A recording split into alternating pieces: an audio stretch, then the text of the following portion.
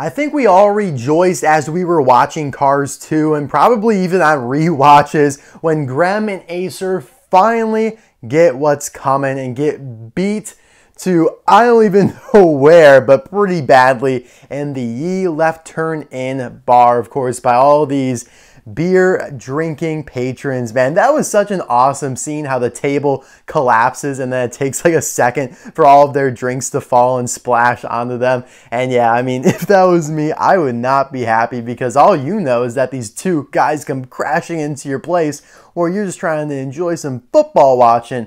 But yeah, guys, welcome back to another custom review. Today, we have Nico Hjuckberg, this yellow Citroen van. They did the red one as and Mattel did the red one and the blue one. We'll compare them all, of course, in this video. But this is a custom by Jim Scavenger. He actually is getting rid of a lot of his collection besides McQueen's, and he's still making customs and all that. But instead of selling, I think this was a Brett Warren wagon. I was like, hey, why don't we make that into a custom? You know, he gets paid. He doesn't have to find somebody to sell Brett to. It's just a win-win situation. So you're going to see some more cars like that, you know, repaints and whatnot, which I tend to be you know, some of the best customs because they're easy to make. Customizers like doing them and they add to my repertoire of background characters that expand the universe. Now, before we get into it, I do want to shout out Get Me Collectibles. Check out his eBay store in the description below if you want literally any of these cars. I'm sure he has most of them on his eBay store and they are quite rare, believe it or not. Even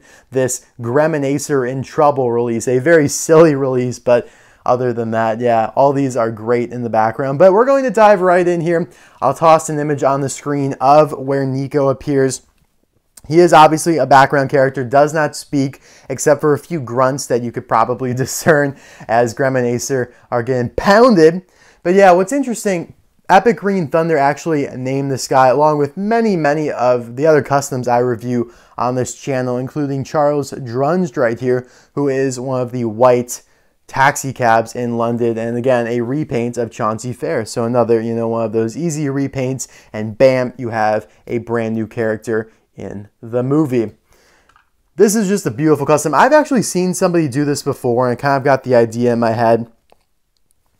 Brett Warrenwagon and Paul Oilkley, the red and the blue vans respectively, were released in 2015. Paul was released in like August and Brett was released in the final case of the year with Mike Fuse, Panchu by Pity, and JW. Those were the new releases in that case. Although Jay wasn't, it was just his first time as a single because he was previously in a three pack with Mia and Tia in the Radiator Springs Classic line.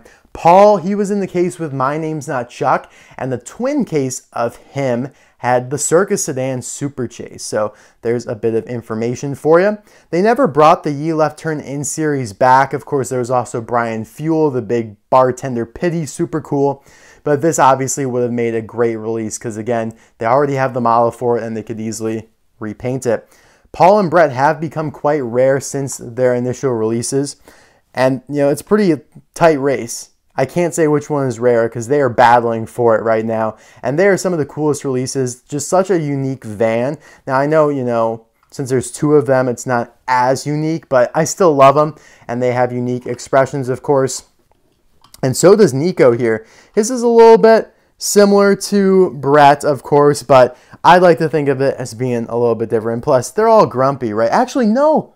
This is a Paul repaint because look at the mouth. Oh my gosh, I did not know that. You can see that Brett's mouth is just like a line right there, no dips. You can see that this one's a little squiggly and it matches Paul's, and yet the eyes are way more similar to Brett. So that's actually fantastic. I'm glad that Jim Scavenger changed that up. See, that's why he's one of the best out there. So yeah, that's really cool. He's got, of course, that unique symbol there on the grill. You got some headlights going on there that are plastic pieces popping out of the main metal body. Side view mirrors, same thing. Road hug tires. A lot of cars and Cars 2 have those types of tires. And what I loved about this model as well is that you could of course like feel the texture, the lined texture of all the doors and whatnot.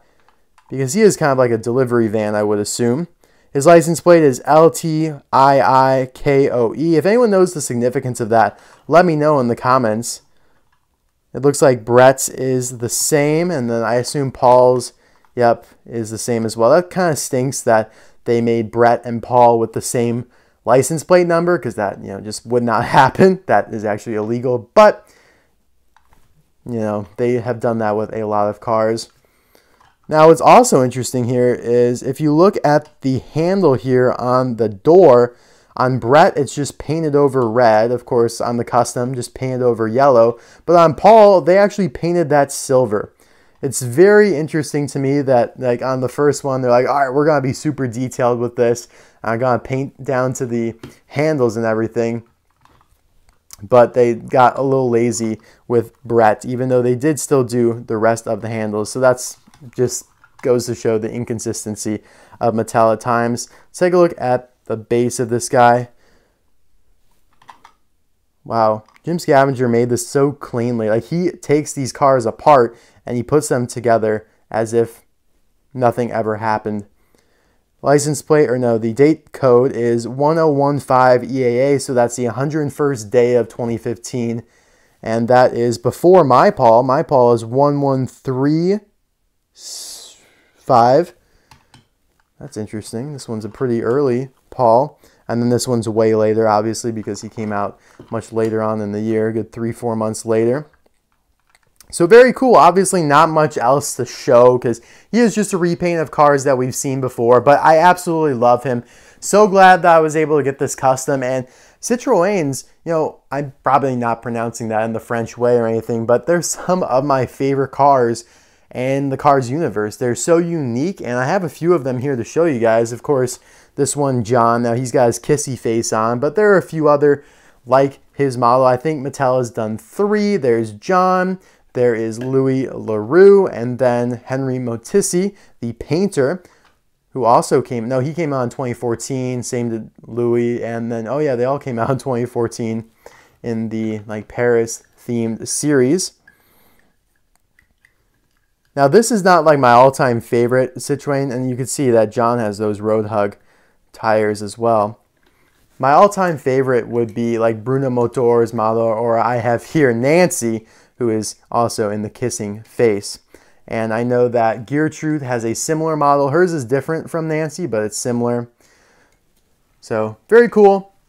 It's always great to see licensed models as cars. You know, Speed Demon's cool and all with her wings, but it's not like that's that's pretty cheap for Mattel to make. Not even talking about how light it is. It's just not a licensed product, you know, that Mattel has to pay royalties to to use or whatever. And it's the same thing with Hot Wheels. Like I'm always going to prefer, for the most part. I mean, there's some cool fantasy Hot Wheels like Shark Cruiser, just a classic. But I'm always going to prefer, you know, your Pontiacs, your Mustangs, your Corvettes, your Camaros than you know, Arachnarod or something like that. God, I hate Arachnarod.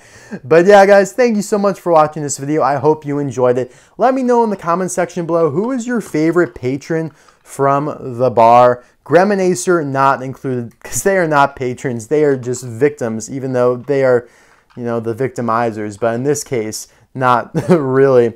So yeah, of course, you have these three boys, you got Charles Drunge. I think he's in the bar as well. Of course, I know Chauncey is, or at least a black cab like that. You have M. Fenderickson, who's another really cool release. And there was also, of course, the bartender Brian Fuel, along with a bunch of others that, you know, could leave room for more customs in the future. Although I don't think there's like another colored van. Like, I don't think there's a green one. Although that would be freaking amazing. What the hell? Maybe I'll make a green one. All right, guys, thank you so much for watching this video. I will see you soon for another one. Bye now.